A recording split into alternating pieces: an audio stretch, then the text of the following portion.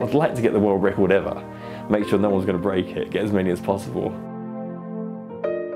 Usually about one a week pops out, so I reckon I've got about 800 or so so far.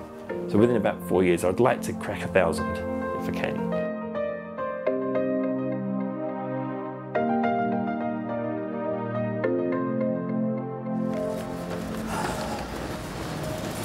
Yeah, I just picked up the results from the hospital. I get tested every three months to show I've got no nasty things.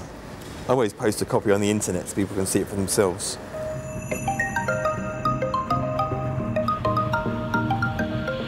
My name's Simon Watson and I'm a sperm donor.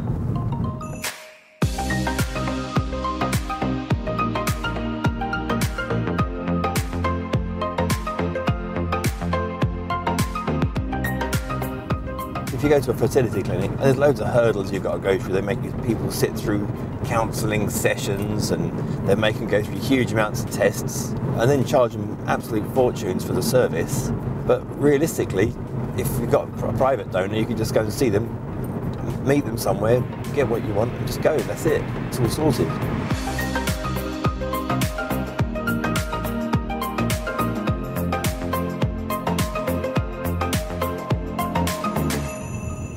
I'll charge them fifty pounds, and that, that's it for the magic potion pot.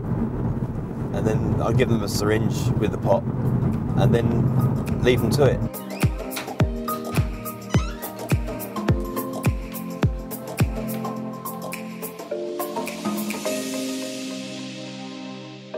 Most of the people I help out tend to be from Facebook.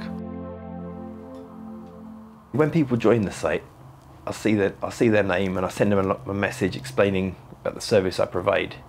You know, because it's like artificial insemination only, and I think they, they like the, the fact that I do that. I'm not going to try and get anything funny out of them. You know.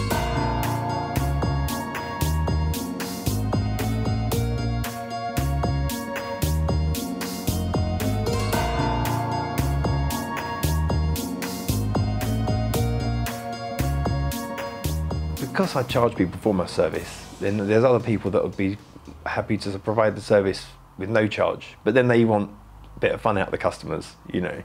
So I'm not knocking them. I mean, that's that's up to them, and some ladies are looking for that too, because some ladies are like lady couples, like the ones uh, today. They're booked into this hotel. I won't know who they are unless they wanted to contact me later on. I don't plan to stop. I want to, I'd like to get the world record ever. Make sure no one's going to break it, get as many as possible.